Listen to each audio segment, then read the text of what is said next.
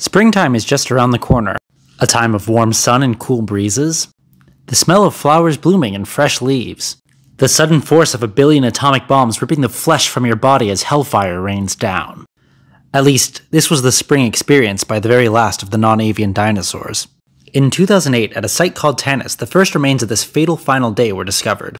Tanis preserves the immediate aftermath of the KPG asteroid impact, including flash flood deposits, glass cooled from molten ejected debris, and even a fossil turtle impaled by a tree branch. By 2019, the discoveries at Tanis made for an astounding picture of the latest Cretaceous of North America, one that made international headlines.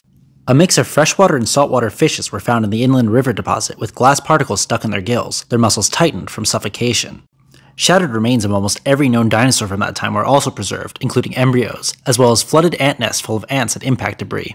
By comparing seasonal growth patterns in the fossilized paddlefish bones with those of their modern relatives, scientists determined that the dinosaurs met their untimely demise during their most vulnerable season, spring. Meanwhile, in the southern hemisphere, our very own mammalian ancestors were gearing up for hibernation, which may have led to their overall survival and eventual domination.